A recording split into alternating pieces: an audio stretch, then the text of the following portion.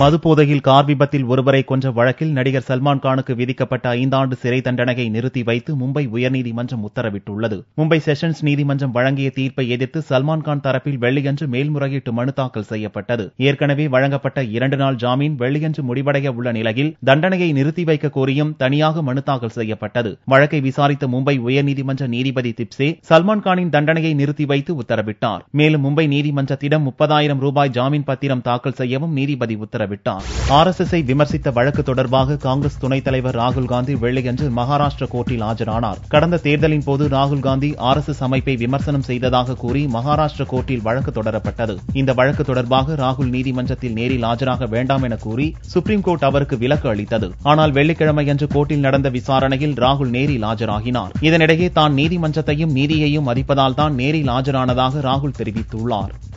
முக்கிய திட்டங்களுக்கு அதிக நிதி ஒதுக்க நிதி ஆயோக்கிற்கு உத்தரவிட வேண்டும் என்று பிரதமர் மோடிக்கு தமிழக முதல்வர் பன்னீர்செல்வம் கடிதம் எழுதியுள்ளார். மாநிலங்களுக்கு கிடைக்க வேண்டிய நிதியின் பங்கு குறைந்துள்ள நிலையில் நிதிக்குழு ஒதுக்கியுள்ள நாற்பத்தி இரண்டு சதவிகித நிதி போதாது என்று கடிதத்தில் குறிப்பிட்டுள்ளார். ஆழ்கடல் மீன்பிடித்தல் கடல் நீரை குடிநீராக்கும் திட்டம் மோனு ரயில் உள்ளிட்ட பல்வேறு திட்டங்களுக்கு அதிக நிதி தேவைப்படுவதாகவும் தெரிவித்துள்ளார். திட்டங்களை செயல்படுத்தும் வகையில் அதிக நிதி ஒதுக்க நிதி ஆயோக்கிற்கு உத்தரவிட வேண்டும் என்றும் பிரதமருக்கு எழுதிய கடிதத்தில் குறிப்பிட்டுள்ளார்.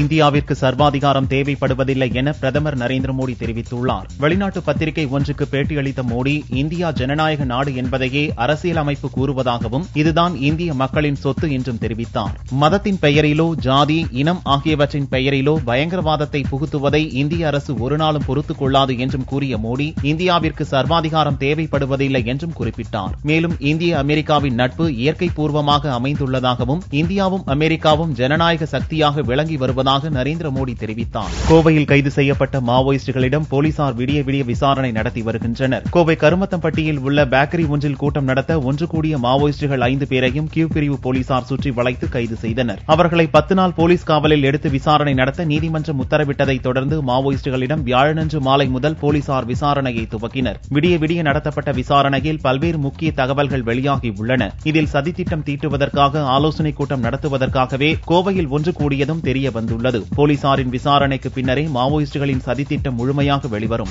சட்டப்படிப்பு விண்ணப்ப விநியோகம் நிர்வாக காரணங்களுக்காக தள்ளி வைக்கப்பட்டுள்ளது. சட்டப்படிப்பு விண்ணப்ப விநியோகம் வெள்ளியன்று துவங்குவதாக அறிவிக்கப்பட்டிருந்தது. சென்னை ராஜா அண்ணாமலைபுரத்தில் உள்ள சட்ட பல்கலைக்கழக வளாகத்தில் மாணவ மாணவியர் விண்ணப்பங்கள் வாங்க வந்திருந்தனர். ஆனால் நிர்வாக காரணங்களுக்காக விண்ணப்பங்கள் விநியோகிக்கப்படவில்லை என்றும் விநியோகம் தொடர்பாக பின்னர் அறிவிப்பு வெளியிடப்படும் என்று தெரிவிக்கப்பட்டது. பிளஸ் டூ தேர்வு முடிவுகள் வெளியானதை தொடர்ந்து கல்லூரிகளில் விண்ணப்ப விநியோகம் சூடுபிடித்துள்ளது.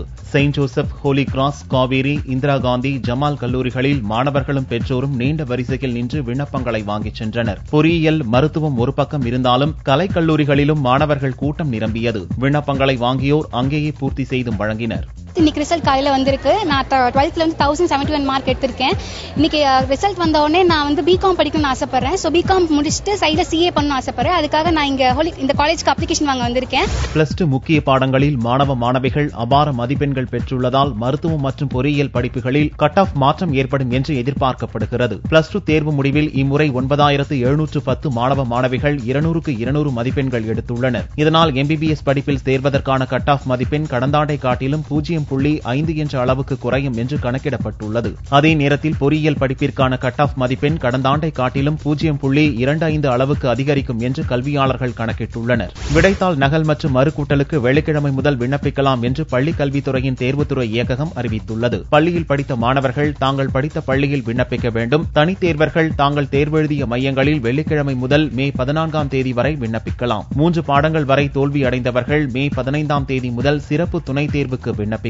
ஜூன் மாத இறுதியில் சிறப்பு தேர்வுகள் நடக்க உள்ளன. பிளஸ் டூ மாணவர்களுக்கான தற்காலிக மதிப்பெண் சான்றிதழ் மே பதினான்காம் தேதியன்று வழங்கப்படும் என்று அறிவிக்கப்பட்டுள்ளது. பிஇ பிடெக் உள்ளிட்ட பொறியியல் படிப்பிற்கான விண்ணப்ப விநியோகம் எண்பதாயிரத்தை நெருங்கியுள்ளது. கடந்த புதன்கிழமையன்று பொறியியல் விண்ணப்ப விநியோகம் துவங்கியது. மே இருபத்தி ஏழாம் தேதி வரை விண்ணப்பங்கள் கிடைக்கும் என்ற நிலையில் வெளியன்று காலை விண்ணப்ப விநியோகம் எண்பதாயிரத்தை தொட்டது. முதல் நாளில் தமிழகம் முழுவதும் ஐம்பத்தாறாயிரத்து அறுநூறு விண்ணப்பங்கள் விநியோகிக்கப்பட்டன. பிளஸ் டூ தேர்வு முடிவுகள் வெளியான நிலையில் மாணவ மாணவிகளின் விண்ணப்பங்களின் மதிப்பெண் விவரம் தெரிய வந்துள்ளதை அடுத்து விண்ணப்ப விநியோகம் சூடுபிடிக்கும் என்று எதிர்பார்க்கப்படுகிறது. காங்கிரஸ் தலைவர் இளங்கோவனை அவரது வீட்டில் திமுக பொருளாளர் ஸ்டாலின் திடீரென நேரில் சந்தித்து பேசினார். தனது சகோதரர் தமிழரசுவின் மகன் நடிகர் அருள்நிதியின் திருமண அழைப்பிதழை இளங்கோவனிடம் ஸ்டாலின் வழங்கினார். திருமணத்திற்கு குடும்பத்தோடு வருவதாக ஸ்டாலினிடம் இளங்கோவன் உறுதியளித்தார். அப்போது செய்தியாளர்களிடம் பேசிய இளங்கோவன் தமிழக பிரச்சனைகளுக்கு அனைத்து கட்சிகளும் ஓரணியில் திரள வேண்டும் என்று வேண்டுகோள் விடுப்பதாக தெரிவித்தார்.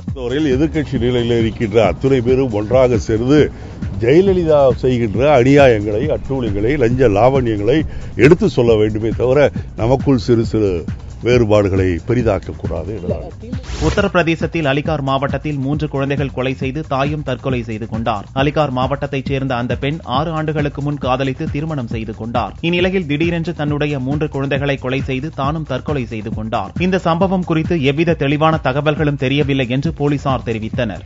திண்டுக்கல் என்ஜிஓ காலனி உழவர் சந்தை அருகே பந்தல் ஒப்பந்ததாரரை கொலை செய்த மர்ம நபர்களை போலீசார் தேடி வருகின்றனர். திண்டுக்கல் என்ஜிஓ காலனியைச் சேர்ந்த கிருஷ்ணமூர்த்தி பந்தல் ஒப்பந்ததாரராக பணி பணியாற்றி வந்தார். இவர் தனது பணியை முடித்துவிட்டு இருசக்கர வாகனத்தில் வீடு திரும்பிய போது உழவர் சந்தை அருகே மர்ம கும்பல் ஒன்று அவரை வழிமறித்தது. பின்னர் கிருஷ்ணமூர்த்தியை அந்த நபர்கள் கொடூரமாக தலையை துண்டித்து கொலை செய்துவிட்டு தப்பினர். தகவல் அறிந்து விரைந்து வந்த தாலுகா போலீசார் கிருஷ்ணமூர்த்தியின் உடலை மீட்டு பிரேத பரிசோதனைக்காக மருத்துவமனைக்கு அனுப்பி வைத்தனர். மேலும் கொலையாளிகளையும் தீவிரமாக தேடி வருகின்றனர். தமிழகத்தில் நான்கு கோடியே இருபத்தாறு லட்சம் வாக்காளர்களின் விவரங்கள் சேகரிக்கப்பட்டுள்ளதாக தேர்தல் அதிகாரி சந்தீப் சக்சேனா தெரிவித்துள்ளார். அவர் வெளியிட்ட அறிக்கையில் தமிழகத்தில் உள்ள ஐந்து கோடியே அறுபத்தி இரண்டு லட்சம் வாக்காளர்களில் நான்கு கோடியே இருபத்தாறு லட்சம் வாக்காளர்களின் விவரங்கள் சேகரிக்கப்பட்டுள்ளதாக தெரிவித்தார். வழக்கமான திருத்தங்களுடன் மொபைல் எண் ஆதார் எண் இமெயில் முகவரி இணைக்கும் பணிக்கான விவரங்கள் சேகரிக்கப்பட்டுள்ளதாகவும் அவர் கூறியுள்ளார். சர்வதேச மகப்பேறு செவிலியர் தினம் புதுச்சேரியில் கொண்டாடப்பட்டது. புதுச்சேரி அன்னை தெரசா பட்டமேற்படிப்பு மைய கூடத்தில் நடந்த மகப்பேறு செவிலியர் தின விழாவில் அமைச்சர் ராஜவேலு கலந்து கொண்டு சிறப்பாக பணியாற்றிய செவிலியர்களுக்கு விருதுகளை வழங்கினார். அப்போது பேசிய அவர் புதுச்சேரியில் கிராம பகுதி மாணவர்கள் பயன்பெறும் வகையில் மருத்துவம் பொறியியல் உள்ளிட்ட படிப்புகளை முதல்வர் ரங்கசாமி கொண்டு வந்துள்ளதாக குறிப்பிட்டார். விழாவில் நிறுவன தலைவர் முரளி சுகாதாரத்துறை இயக்குநர் ராமன் துணைத் தலைவர் அல்லிராணி ஆகியோர் கலந்து கொண்டனர். இரண்டாம் உலகப் போரில் உயிர்நீத்த தியாகிகளின் நினைவிடத்தில் புதுச்சேரியில் மலரஞ்சலி செலுத்தப்பட்டது. இரண்டாம் உலகப் போர் முடிந்து எழுபதாவது ஆண்டு நினைவு நாள் வெள்ளிக்கிழமை உலகமெங்கும் அனுசரிக்கப்பட்டு வருகிறது. இதன் ஒரு பகுதியாக புதுச்சேரி கடற்கரை சாலையில் உள்ள தியாகிகள் நினைவு சதுக்கத்தில் மலரஞ்சலி செலுத்தப்பட்டது. போரில் உயிர்நீத்த தியாகிகளின் நினைவு நாளில் உலக ஒற்றுமைக்காகவும் வளர்ச்சிக்காகவும் பாடுபட உறுதி எடுத்துக்கொள்ள வேண்டும் என மாவட்ட கலெக்டர் சுந்தர வடிவேலு கேட்டுக் கொண்டார் நிகழ்ச்சியில் பிரெஞ்சு தூதர் பிலிப்பி ஜேவியர் காமியானா புதுச்சேரியில் உள்ள பிரெஞ்சு மக்கள் அவர்களின் பிரதிநிதிகள் பிரெஞ்சு சங்க நிர்வாகிகள் ஆகியோர் கலந்து கொண்டு அஞ்சலி செலுத்தினர்.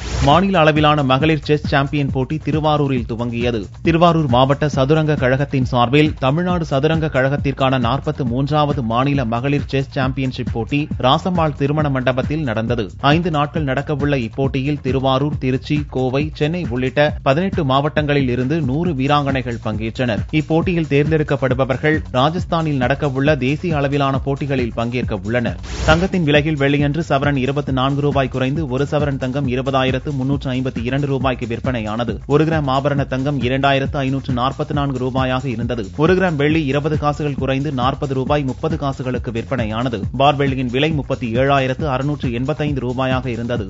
பாலிவுட் நடிகர் சல்மான் கான் விடுதலையாக வேண்டி விஷம் குடித்து தற்கொலைக்கு முயன்ற ரசிகரால் பரபரப்பு ஏற்பட்டது. மும்பை நீதிமன்றத்தில் சல்மான்கான் ஜாமீன் மீதான விசாரணை வெள்ளியன்று நடந்தது. அப்போது நீதிமன்றத்துக்கு வெளியில் அவரது ரசிகர்கள் திரண்டிருந்தனர். இதில் ஒரு ரசிகர் விஷத்தை கையில் வைத்துக் கொண்டு அதை அருந்தினார். அங்கிருந்தவர்கள் அவரை மருத்துவமனைக்கு கொண்டு சென்றனர். இச்சம்பவத்தால் அங்கு பரபரப்பு ஏற்பட்டது.